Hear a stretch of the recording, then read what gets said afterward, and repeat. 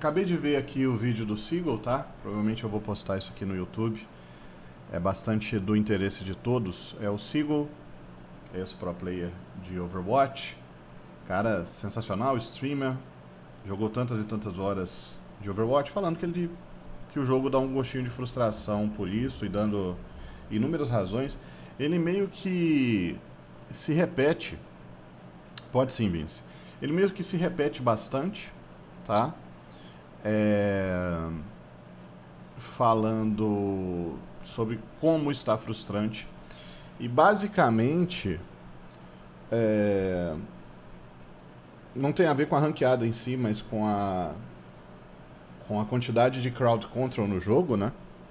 Crowd control, para quem não sabe, né? ou CC, é a quantidade de habilidades que desabilitam é, os jogadores. Vamos falar de atordoamentos, é, dados soníferos, né? Sleep, é, hackeamento, aquela, aquela jogada para cima que o Hammond e o Doomfist fazem, né? Abalo terrestre, graviton, um, todo jogador, todo personagem praticamente tem um crowd control, né? A puxada da ouriça, é, atordoamento da briguita, flashbang do McCree, enfim. É, reclamando de, do excesso de crowd control e que basicamente você depende do seu time para te salvar. Porque você fica né, completamente inútil ali. Né? Um Doomfist no high ground, você vai tomar as skills e vai ser deletado. Hack da sombra, ponto 67, ponto 65 segundos para te deixar 6 segundos inoperante praticamente. Um, e o outro ponto que ele trouxe é que é, estão sendo adicionados alguns hard counters, né? Alguns counters muito fortes para o jogo. Na verdade, o problema é a Brigitte.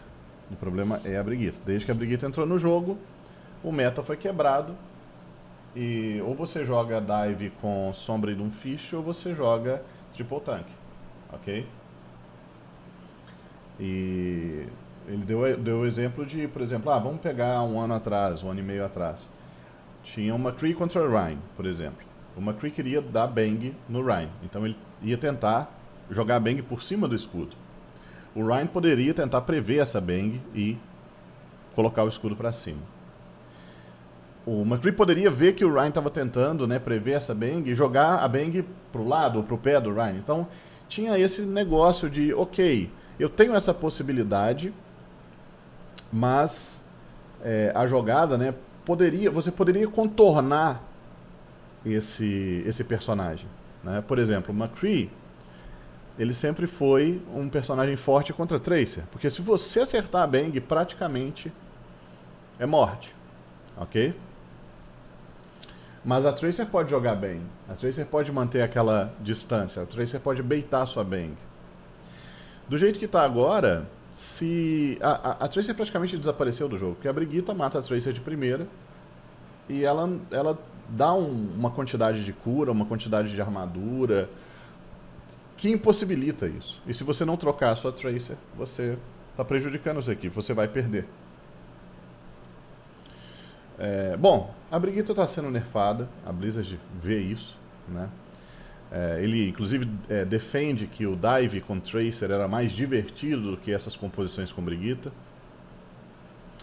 É realmente um, um herói que não precisa de tanta habilidade quanto a Brigitte para ser jogada e, e, com tanto poder assim, né? principalmente habilidades que não são é, comuns em FPS, como atordoamentos ela realmente quebra o jogo. Realmente quebra um pouco o jogo. E ele deu o exemplo da Fara, por exemplo. Tem tantos hit scans no jogo. Vamos dizer, McCree, Soldado, Widowmaker, Ana, até um bom Zenyatta, Diva, counteram a Fara. Dão trabalho para Fara. Mas mesmo assim você não precisa trocar de personagem. Você pode usar cover, você pode ter rotas de flanco para pegar esses personagens, foco, né? Focar aquela Widow, tirar ela antes de, de virar. Tem tantas faras boas que ninguém consegue counterar, né? Vocês sabem. Mesmo pegando hitscan. Então, ele fala bastante disso. A questão do, do Overwatch atual.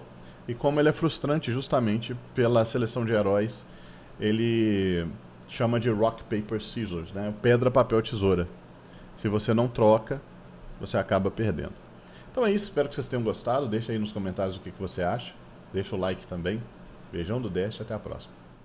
Olá, queridos mamíferos fãs de Overwatch que assistiram o vídeo até aqui. Não deixe de deixar o seu like, não deixe de deixar esse like e, e comentar no comentário que seria Torretinha. Torretinha em homenagem ao Sindicato dos Torbes, que agora tem uma camiseta nova no site camisetasvision.com.